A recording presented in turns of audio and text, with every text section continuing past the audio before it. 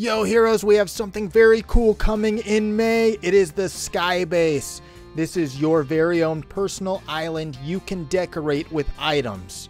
You can buy items or you can craft them when our crafting system comes out in May too. You can style this item with tons of cool stuff and make it look just the way you want it. And you even get your very own island home.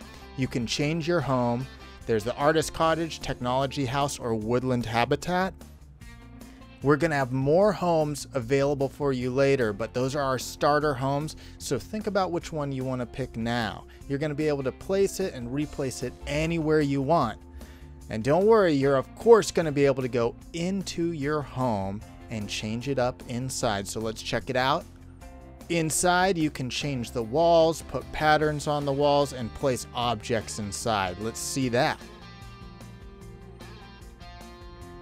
Whew, that's looking good. I hope you guys are excited. Mark your calendars in May. This feature's coming out.